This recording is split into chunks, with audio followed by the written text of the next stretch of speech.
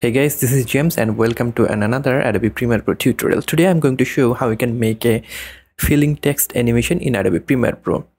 It will be very easy and I think you can do it within a minute. So without wasting any more time, let's get started. So here I'm in Adobe Premiere Pro. I've already made a sequence. So first make a sequence and then go to here which is type tool. If you click here and then you can write whatever you want. Suppose I'm writing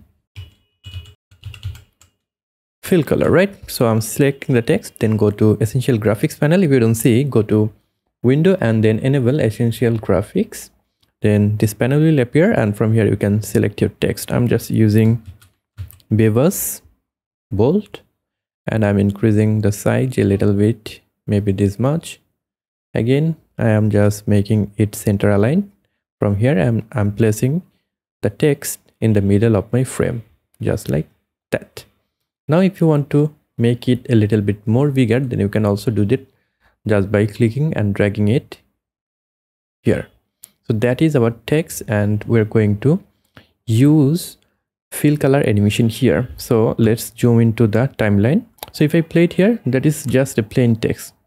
There is nothing going on right? Now you need to change the color of the fill color as you want. Suppose i'm selecting the color maybe this one and then okay and then you need to duplicate this text layer. So if you press alt or option on your keyboard then click and drag it you can duplicate the text layer. Now select the top one and then go to essential graphics select the text and from here disable the fill color right?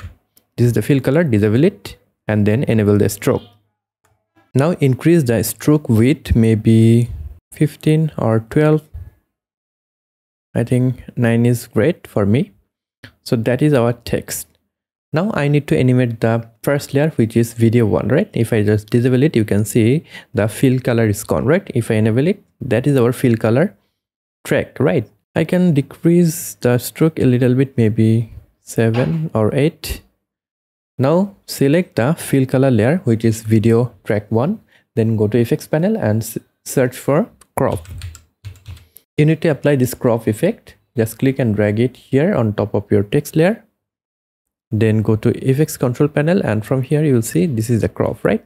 So go to at the beginning of your text layer and then select the crop and then just change the cropping this much right?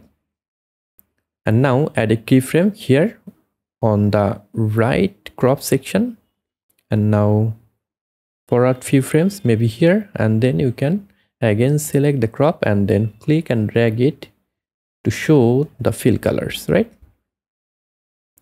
Now you can adjust the position of this second keyframe right? So if i just place it here that is the animation. If i play it back you'll see the fill color is animating. Now select the last keyframe and then right click and select ease in.